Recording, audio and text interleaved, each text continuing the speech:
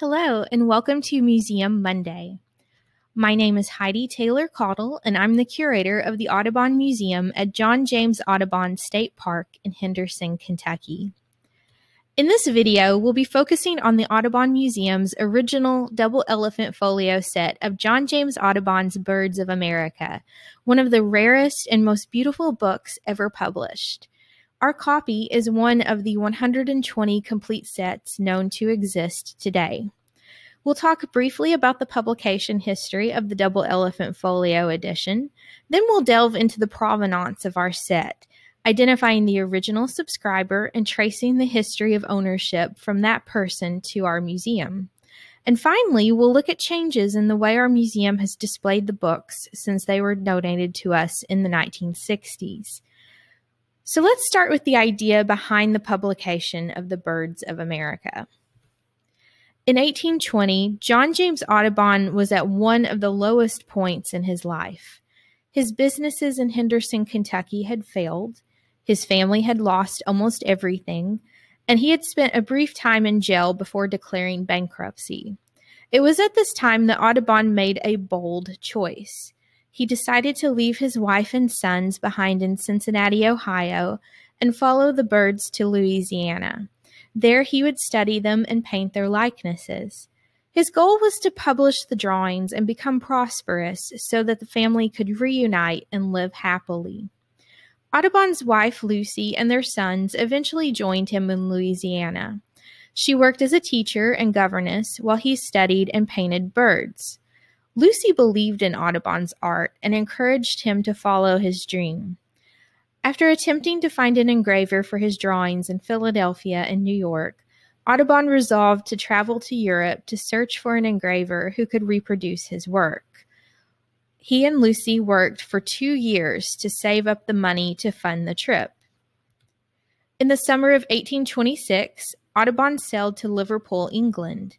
He took with him his paintings, $2,000, and letters of introduction. He also had his charm, good looks, and his lifelike, life size paintings of the birds of America. Within a matter of weeks, Audubon was written up in newspapers and magazines. He was introduced to scientists, naturalists, and members of the aristocracy. He was also introduced to engraver William Home Lizars. Seeing Audubon's paintings, Lizars exclaimed, My God, I've never seen anything like these before. He asked to be allowed to engrave Audubon's work. Audubon and Lizars chose the wild turkey as the first plate of the Birds of America to introduce the folio volumes and illustrate the necessity of the large format.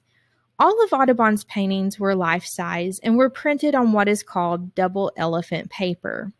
That's the printer's term for the 28 inch by 39 inch paper. If you look closely at the turkey engraving in the lower uh, right hand corner, you'll see that it is made up of thousands of lines describing the shape and texture of the turkey feathers and the wild cane in the background. Each line was cut into a copper plate. Ink was applied to the plate and then wiped away, leaving only the ink in the lines. This plate was then used to print the black line image of the turkey in the paper. Colors were then applied by hand. Audubon calculated the Birds of America project would take 14 years to complete, and he would have to sell 200 copies to break even. After that, it would be pure profit, and if he could sell 300 sets, he and his family would live comfortably for the rest of their lives.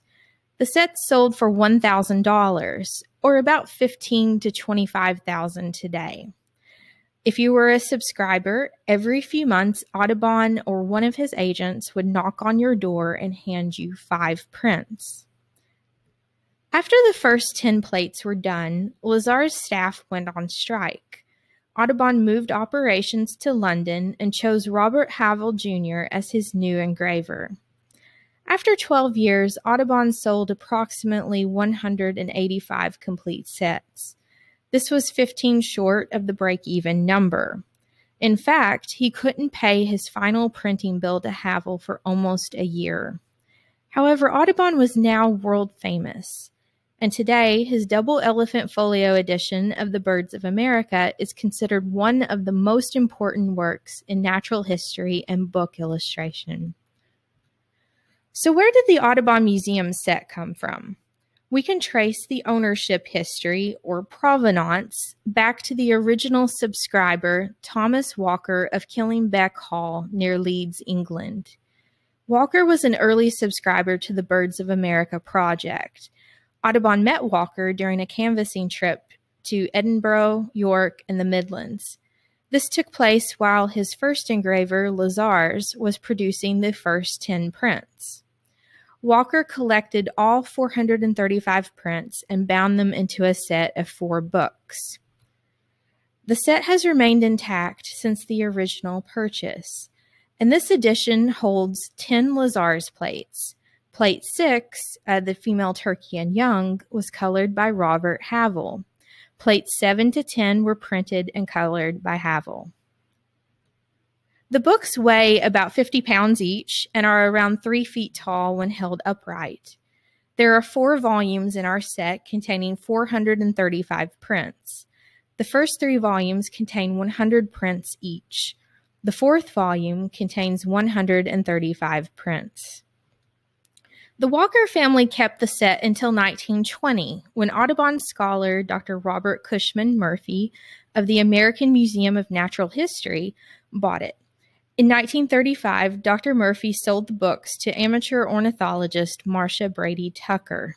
She later donated the folios to the Audubon Museum in Henderson, Kentucky in 1965. Our set of the double elephant folios have been on display to museum visitors for over 50 years.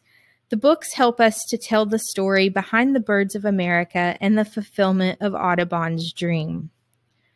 Here are a few photos showing changes in how the folios have been displayed since the 1960s.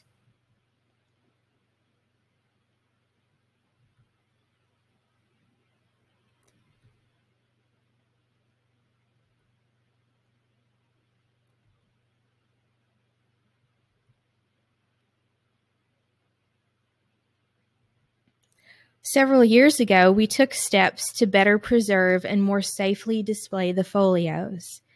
In 2016, the Audubon Museum received a grant for $1,000 from the Kentucky Local History Trust Fund. Combined with funding from the Friends of Audubon, we were able to order a custom plexiglass display mount so that we could better exhibit the folios. The new display mount has allowed us to keep one folio on view at all times uh, while helping prevent uh, damage to that book. And once a month, uh, we turn the pages of the book on display so that our visitors can see a new image. Before we close, uh, we want to highlight the Kentucky Local History Trust Fund. Uh, this fund was very important to us in being able to continue sharing the double elephant folios with our visitors. Uh, encourage your friends and family uh, to donate to the Kentucky Local History Trust Fund if you live in Kentucky. Grants uh, support projects such as artifact conservation, digitization of collections, strategic planning, exhibits, educational programs, and more.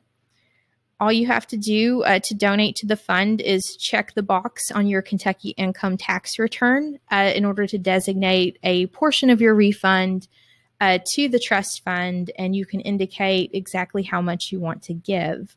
Uh, the donations collectively go into a grant pool, and each fall, history organizations in Kentucky uh, apply for grant funding. The Kentucky Historical Society administers uh, the process of distributing the grants. For more information, visit history.ky.gov slash get involved slash support local history. And you can see that address uh, below the graphic. Museum Monday videos are researched, produced, and narrated by me, Heidi Taylor Caudle, curator of the Audubon Museum at John James Audubon State Park in Henderson, Kentucky. Check out our bonus video on paper marbling and the Audubon Museum's double elephant folio. And also, please consider becoming a subscriber to our YouTube channel. and look for the uh, John James Audubon State Park pages on social media. Thanks for watching.